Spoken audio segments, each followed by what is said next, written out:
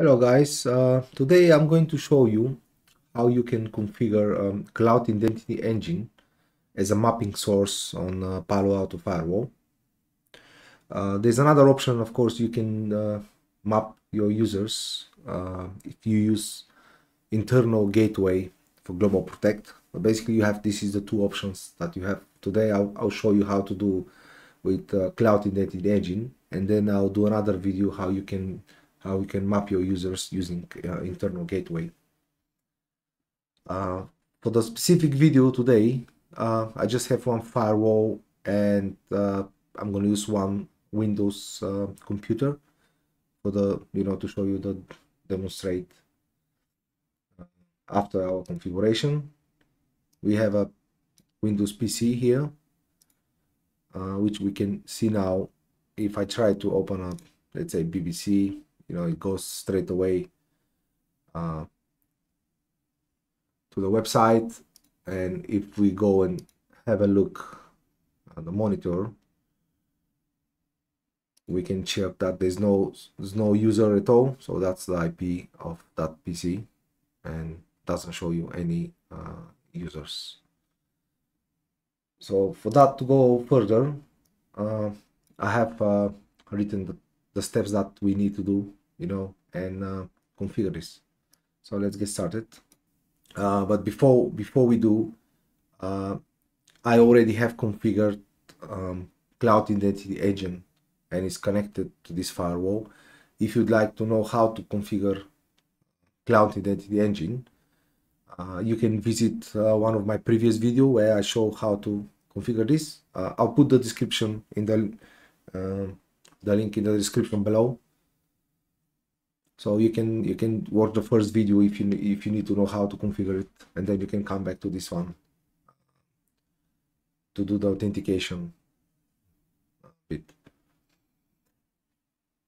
So a very important thing as well is you need to have um, the device certificates to be configured as well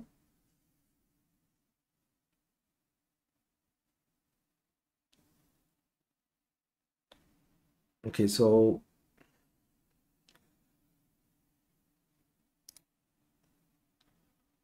so the first thing we're going to configure will be the uh, certificates.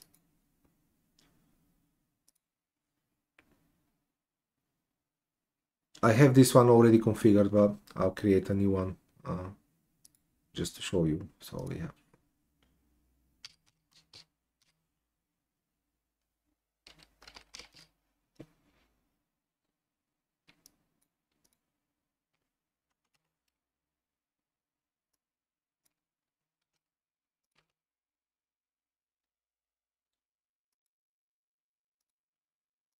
certificate authority.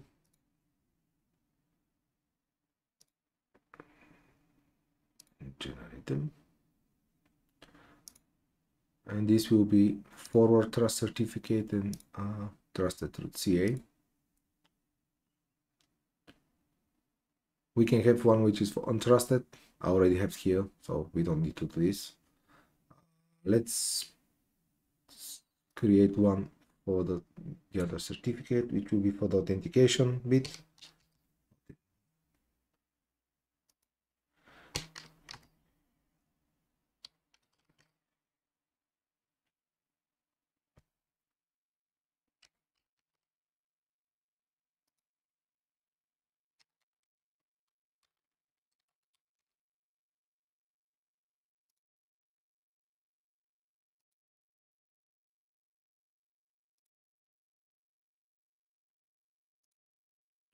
Yeah that should be enough for us to do the job. We can come here and do SSL certificate profile. Uh, let's create this one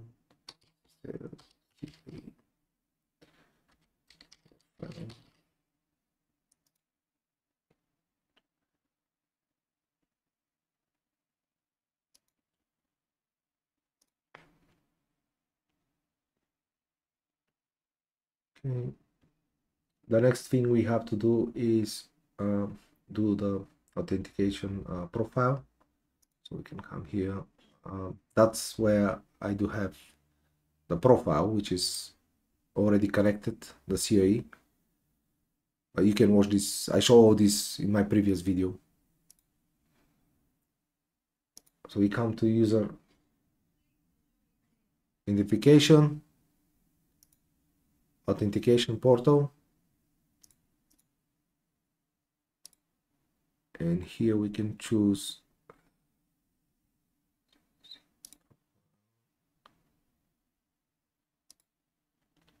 and this is the profile which I show you here which is authentication profile one. Here will be my IP address on the one of the trusted interface which I have already. I'll show you in a second what this one is. So this is the one that I have here configured. I mean you can do any basically any of the interfaces could be uh, configured for your host. The only difference is you you're gonna have to have uh, interface management. Let's say we can do this for CIE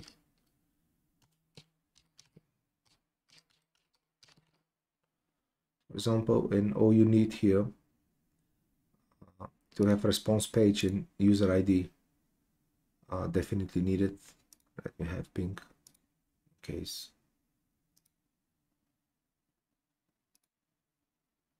You need you need to have this in advance uh, the management profile. Should be that one there.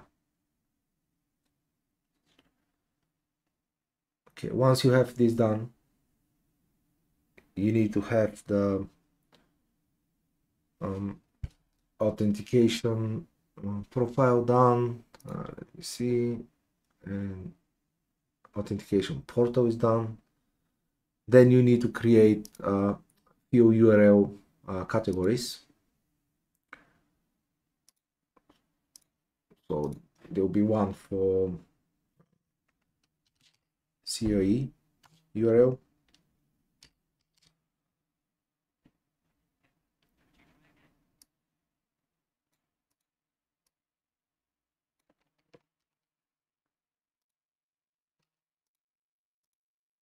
and you you need one for the Azure URLs as well.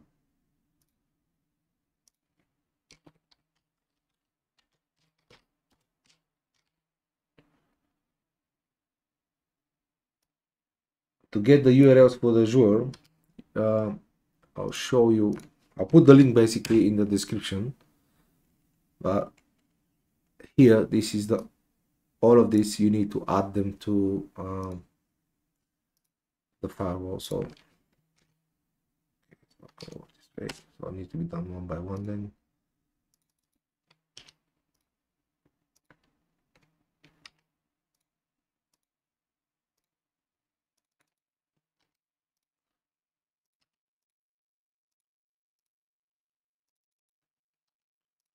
And that's very important because I was struggling to configure um, my authentication and didn't work for some reason until I found that all this needs to be done.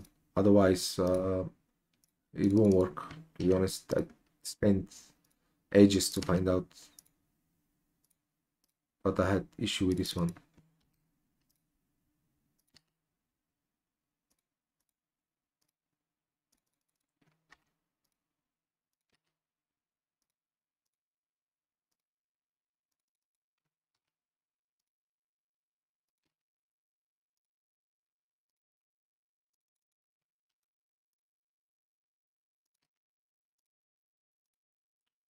okay once you once you've done this you need to go to object and um, authentication profile and create um, authentication enforcement. Basically it's going to be CIE I don't know just can call it enforcement.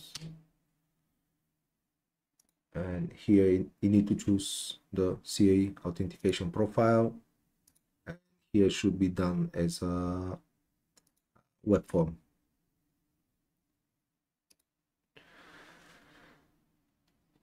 After that, you need a decryption profile, which I already have here, but you know, you can just do your decryption profile.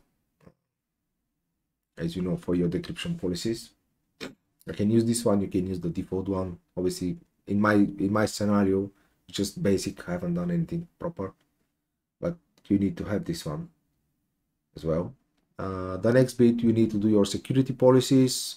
So as this is a lab I just have fill out everything. But definitely you need to have uh, to block QUIC. Uh, otherwise the authentication policy it might not be triggered. As many times QUIC will be hit in your uh, policy. And if it's not blocked it's not going to use http https which is needed uh, for this task uh, and anyways for best practice block should be um, QUIC should be blocked anyway.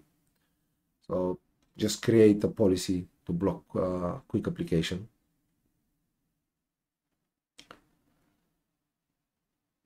And then you need to create decryption policy. So we can see code decrypted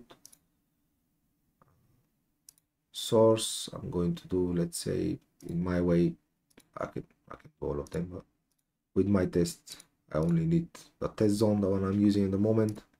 Destination is untrust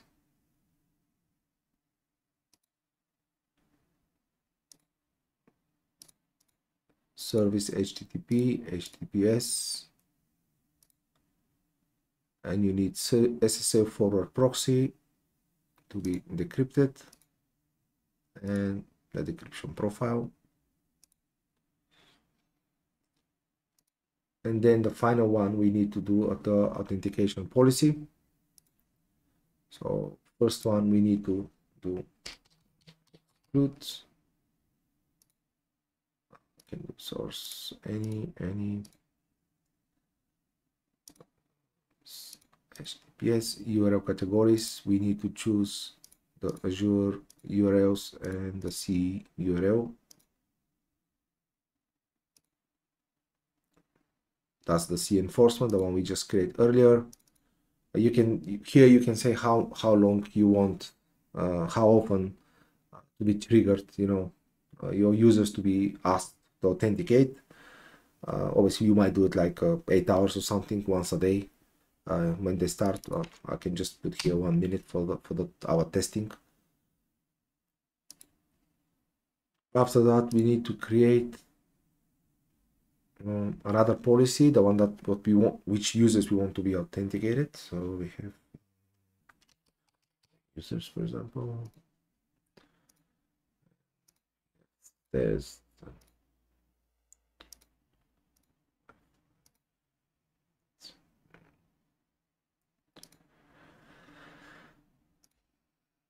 when they go to untrust https and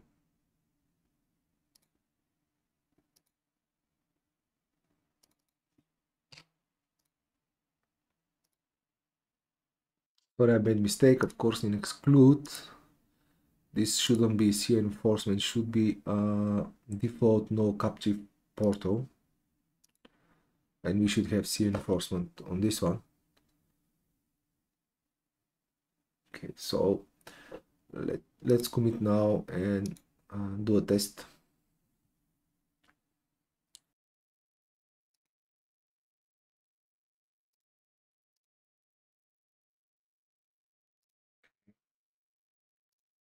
close this one open it again see if this is going to be triggered now. Okay so your connection is not private. Okay ah okay so that good is happened now. So the reason for for this is because uh, the certificate uh, when you have decryption should be installed.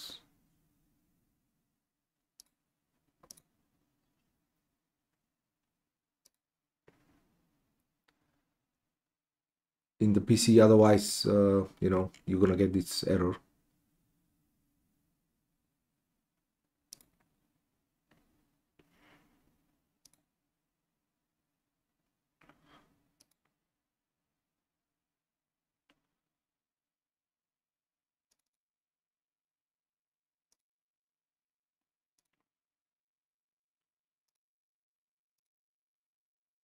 should be you know in your uh, root certificates folder. So if you say yes. And now uh, it should work. Okay still doesn't work. Proceed. Okay now it's working. So we will redirect us to um, this page usually you wouldn't have the message you know once you install it uh, same as me uh, to proceed because it should not it should ignore the certificate which is there.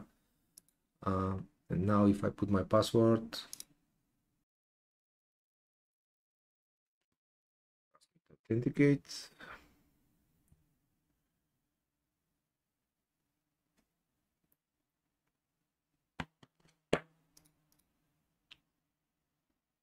now I can uh, obviously you know go to YouTube and uh, any other shouldn't ask me to. Okay so if we go back to the firewall and we can check now. You can see now it's uh, my user.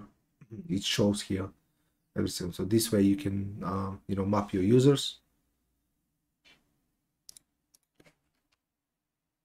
Even though if you come here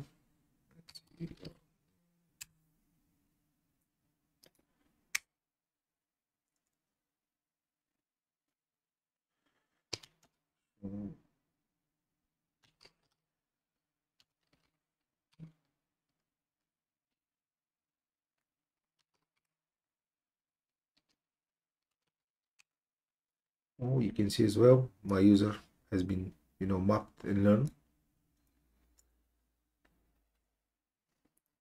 So I hope this will help you guys. If you have any question and you have some trouble, you know, uh, just put a comment below. I'll help you out if I can. Also, if you need another any other video that you want me to do for you, uh, just you know, just comment and please subscribe and like it. Thank you very much. See you later.